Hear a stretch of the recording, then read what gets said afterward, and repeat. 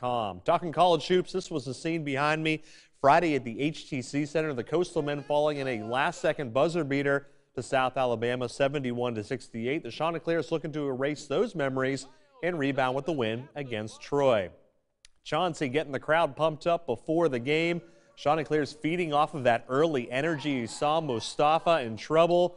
Finds Garrett Green, who slices through and opens the scoring at 2 0. Next possession, Mostafa with a baby hook in the lane gets the friendly bounce. He scored 12. Teal Nation up by four. Vince Cole was their leading scorer, going to work and using the window. He led everybody with 16 points. Troy would use an early timeout. Chanticleers kept it going. Green on the wing knocks down the tray. CCU does pick up the conference win 73 to 6.